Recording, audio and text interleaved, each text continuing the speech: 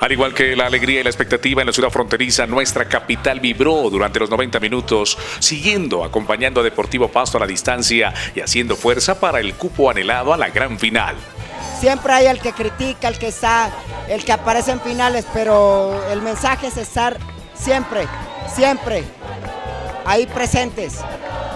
al final de los 90 minutos y teniendo en cuenta el excelente resultado también de América frente a Millonarios, las calles de Pasto se llenaron con los seguidores de la institución ariñense con la casaca roja, con las banderas, los gritos y la alegría, teniendo en cuenta de que su equipo estaba ya nuevamente por cuarta ocasión en la gran final. Se siente una alegría impresionante. Después de mucho tiempo al fin lo logramos de nuevo. Pues uno siempre es hincha de corazón, más no de resultados.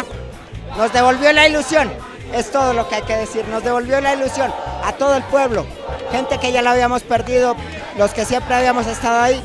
eh, acompañábamos, pero eh, mucha gente perdió la esperanza en el equipo. Gracias al profe Alexis, estamos nuevamente en una final, soñando con ser campeones, soñando con tatuarnos una nueva estrella, una nueva estrella en nuestras pieles.